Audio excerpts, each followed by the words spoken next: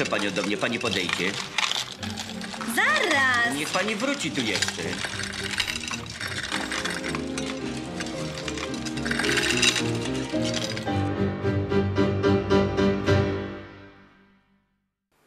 w stacji Zagórz taki był bufet. Kiedyś na każdej stacji był bufet, nie?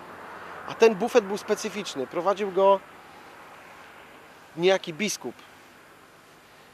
E, facet był bardzo mikrego wzrostu. No tak powiedzmy, że miał może z metr 20. Ty uważaj!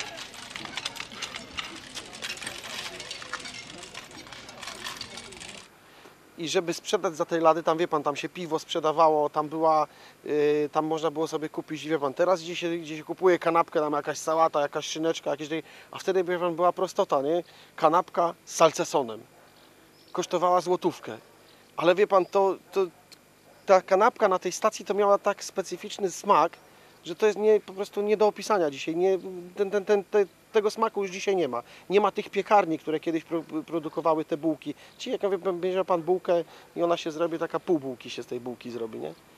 I proszę pana, on żeby sprzedać tą bułkę, to miał takie, takie schodki zrobione i po tych schodkach wychodził, dopiero go z góry było widać. Jak się pytało, jest tu kto?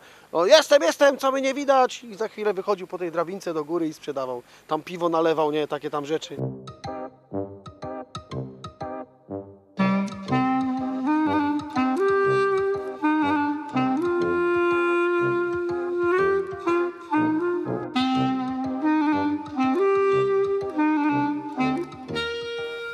Zagórzu to była, że tak powiem, e, właściwie Zagórz jest uważany taką, za taką naturalną bramę Bieszczad. Naturalną bramą Bieszczad jest Osława, więc to był taki, taka właściwie baza wypadowa w góry. Albo się jechało na Komańcze, albo się jechało na Łupków. Tam były szlaki turystyczne, tam można było iść granicą, można było iść w stronę Wspólnika, była przesiadka na kolejkę wąskotorową w Cisnej. Zawsze jak przyjeżdżał pociąg osobowy, zawsze była ta kolejka wąskotorowa, że można było jechać w stronę Smolnika, albo można było wysiąść w Rzepedzi. W Rzepedzi była też stacja kolejki wąskotorowej, tylko tam trzeba było kawałek dojść. No w Łupkowie była y, Ambizawi, bo tam był przeładunek drzewa. Zielono wzgórza nad Soliną i zapomniany ścieżek ślad. Polańczyk, Solina bardzo znane. Tutaj zjeżdżało mnóstwo, mnóstwo kuracjuszy, jak również wczasowiczów. Tutaj e, w tych latach, koniec, to co ja pamiętam, koniec lat 80., 90., to ciężko było podstawić pociąg pasażerski, trzeba było na ludzi uważać, bo to były międzytorza, perony zapełnione kuracjuszami, zwłaszcza w dniach e, zmiany turnusów dużo ludzi tutaj się poznawało, jadących na, na turnus, dużo ludzi się żegnało. Nad rzeką noc w uliczce snu gwiazd. Miło było popatrzeć, jak podstawialiśmy tu jeden pociąg skład do Warszawy, drugi do Krakowa. I pan z panią po kilku tygodniach znajomości od akurat odjeżdżali różnymi pociągami. Naprawdę miło popatrzeć, jak się ludzie żegnają, jakie są, jakie powstały przyjaźnie. Spotkamy się tu znów za rok.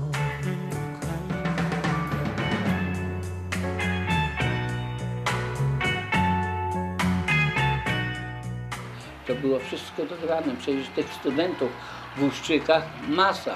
Wysiadała jak jechało z Warszawy przez Przemyśl. Masa, masa. Także to było y, przepełnione. Przepełnione i te pociągi takie do Katowic, co od nas tego, to już nieraz w Sanoku, jak to się mówi, było problem wsiąść. Zielone wzgórza nad Soliną. Dzisiaj już tego nie ma. Nie ma dyżurnego peronowego. Na peronie wtedy pracował, nazywał się Makarski, y, Ania Halicka, e, Andrzej Zych. Prowadzili przechowalnię bagażu, sami organizowali tą przechowalnię bagażu, żeby ten turysta miał gdzie po prostu zostawić ten bagaż. Dzisiaj kto się tym przejmuje? Sami zorganizowali wczasy dla kolejarzy, sami, to, sami remontowali, żeby mogli przyjechać kolejarze w Bieszczady. Dzisiaj tego już nie ma, nikomu się nie opłaca.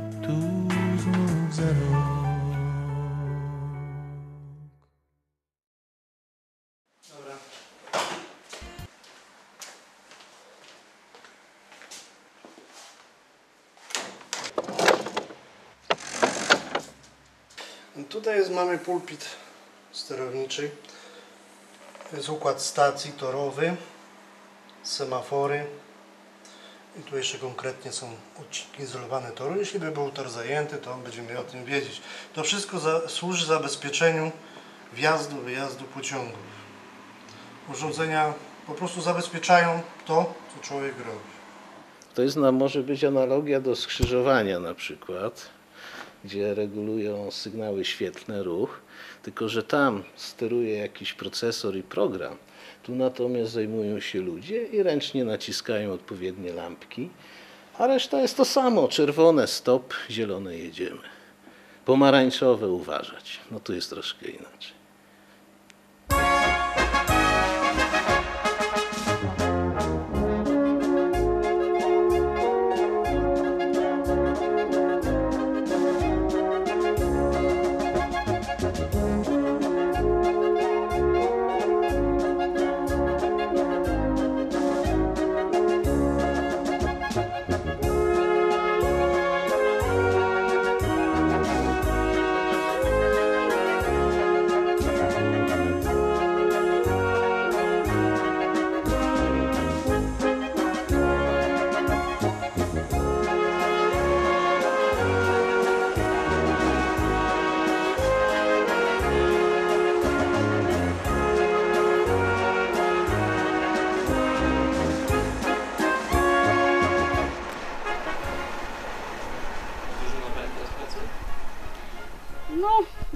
Jeżdżą drezyny.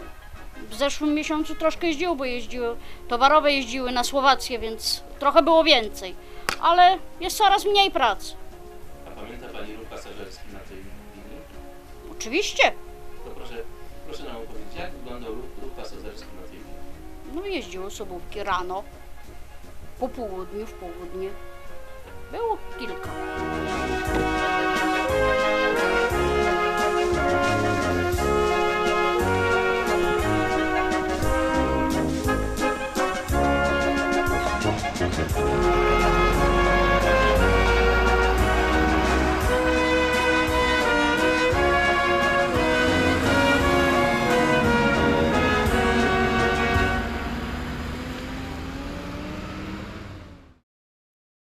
Tu cała kolonia, Nowy Zagórz, kolonia tutaj za, za, w domkach, to byli sami kierownicy pociągu, maszyniści. Wszystko rodziny kolejarskie i miało się naprawdę dobrze. Przecież tu był o dom ludowy, to ci kolejarze potrafili organizować zabawy dla swego środowiska. Dzisiaj nasze środowisko kolejarskie to tak jakby nie istniało. Duża różnica.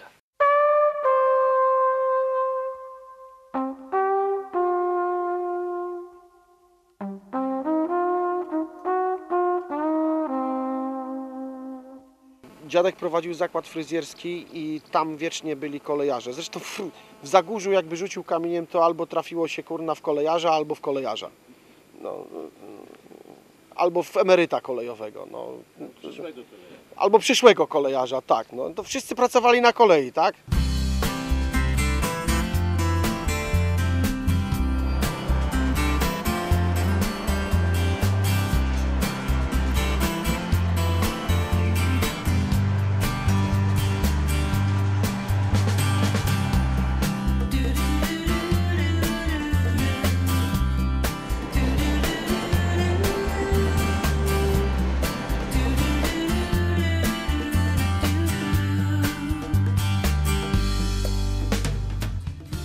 Było w latach 90., proszę pana, była batalia o otwarcie przejścia, yy, przejścia tego, tego, tego tutaj na Łupków, na Słowację, tego tunelu.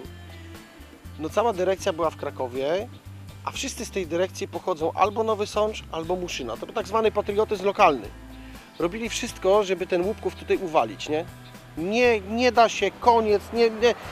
Oni nie umieli przepchać tych pociągów przez Muszynę. Tam była Muszyna zatkana. Tam, proszę pana, z Nowego Sącza do, Muszyn, do Muszyny czasami pociąg jechał dwa dni. I proszę pana, ówczesnemu dyrektorowi, tylko teraz nie powiem panu, czy dyrekcji krakowskiej, czy w ogóle y, generalnej dyrekcji, temu dyrektorowi, ktoś wcisnął kit, że ten tunel jest zawalony. I facet tutaj, proszę pana, przyjechał prywatnie, był na wczasach, przyjechał, proszę pana, tutaj do Łupkowa, poszedł do dyżurnego i pyta się go, gdzie jest ten tunel. A no pójdzie pan tam prosto, prawda, torami i dojdzie pan jakieś półtora kilometra, pan tam dojdzie do tego tunelu. A on mówi, czy jego się da przejść? A on mówi, tak, no zapalę panu światło i pan sobie przejdzie, nie? Jak pan zapali światło? No normalnie, no mam tu przełącznik, zapalę światło, zrobi się jasno w tunelu i, i pan sobie dyrektor pójdzie. A to pan wie, kim ja jestem? No, poznałem pana, nie? No ale on mówi, przecież on jest zawalony. A kto panu powiedział, że on jest zawalony? No wszyscy mi to mówią. Facet poszedł, jak zobaczył tunel, proszę pana, nie wiem, dwa czy trzy lata zaczęło funkcjonować przejście, nie?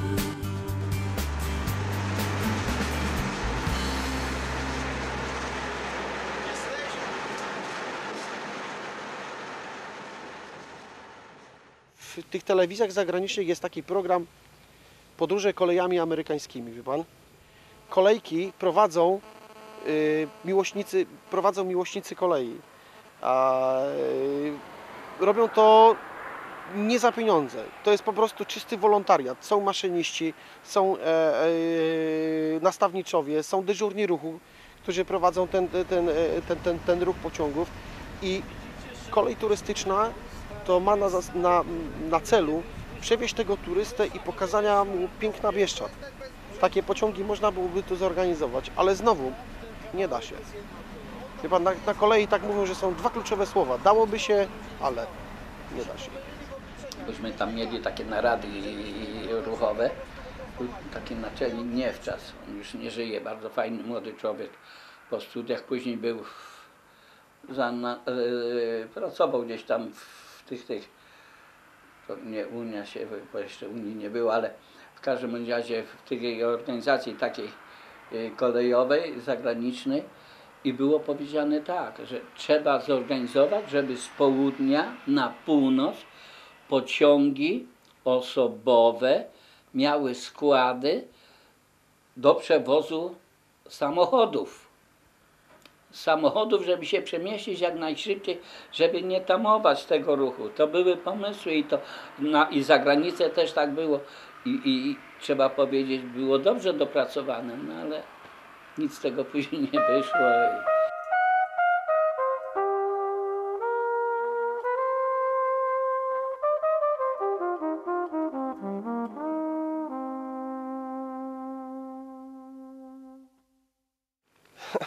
Gdyby to ode mnie zależało, proszę pana, moim takim marzeniem to kiedyś było, znaczy kiedyś, no marzenie jest dalej, no.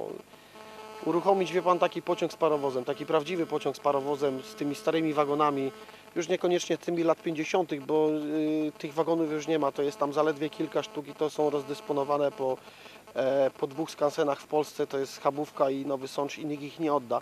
Ale są jeszcze wagony z lat 80., są z lat 70., żeby zrobić taki, wie pan, zestaw przynajmniej trzech wagonów w tym, tym takim klasycznym, kolejowym, e, PKP-owskim, oliwkowym malowaniu. Do tego jakiś parowóz TY2 albo TKT-48, który w Zagórzu no, stoi e, na pomniku i nic, nic z nim się nie dzieje. I właśnie taką kolej turystyczną i pokazać tym ludziom, jak to się odbywało, żeby ten turysta wsiadł na przykład, przejechać, ale znowu wrócę teraz do, tych, do, do tematu tych krzaków. Co z tego, że taki turysta wsiądzie, no co, on po krzakach będzie jechał? No, chcę coś zobaczyć, chcę zobaczyć góry, chcę zobaczyć, nie wiem, jakieś tam, e, prawda, no, e, tutejsze jakieś kapele ludowe, prawda, nie? Czy tam, nie wiem, można się zatrzymać, e, jest klasztor, w którym był internowany kardynał Wyszyński. No wie pan, trzeba tego turystę zachęcić, żeby on przyszedł. Wie pan, jakoś za granicą to się wszystko daje, prawda?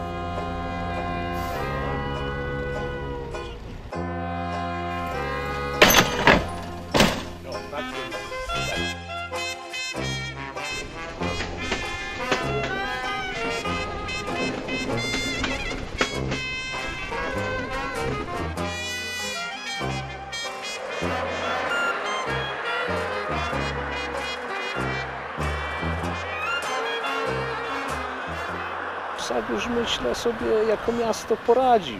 Radzi sobie cały czas, żyje jakoś, dalej tętni życiem. Choć może wielu się nie odnalazło w tej rzeczywistości nowej. Wiązało kolej tutaj rzeczywiście no, straciła dużo miejsc pracy. Dużo ludzi musiało się przekwalifikować, odejść, no ale jakoś sobie poradzili. Być może nie wszyscy, no, nie mogę ze wszystkich tutaj powiedzieć. Przekwalifikowali się, no, żyją na, na swój sposób teraz tak. Y, Czym pan wtedy jechał? Samochodem. A nie chciał, nie, nie patrzył pan na kolej? Czy jest E, możliwe? Nie mogę dojechać z Warszawy, bo nie ma połączenia już Warszawa-Zagórz, prawda? A jeździł pan tą połączeniem kiedyś? Tak. I jakie emocje tam, jak w ogóle, gdzie pan wysiadał, jak pan ocenia wtedy Zagórz? Jak to było? No Zagórz był taką bramą Bieszczad i było to bardzo przyjemne wrażenie wysiąść na tej stacji wśród zieleni. Dzisiaj jest to niestety niemożliwe. Podobnie jak dojechanie no, do Łupkowa, prawda? To jedną z ładniejszych tras. A mam pytanie też jeszcze, wysiadając w Zagórzu, jakie emocje towarzyszyły, plecaki, pan miał wszystko, jak tak plecak Tak. i wszystko, jak to wyglądało u pana wtedy? O, to już bardzo dawno temu. Dużo plecaków, cały pociąg pełen ludzi, którzy jechali na, na wakacje, czyli raczej bardzo radosne. Brakuje tego? Na pewno. Komu, komu przeszkadzało? Nie wiemy. W każdym razie już dziś dojechać do Zagórza pociągiem nie można. Chyba żadnym obecnie. Z- Za nic Krakowa, ani z Warszawy.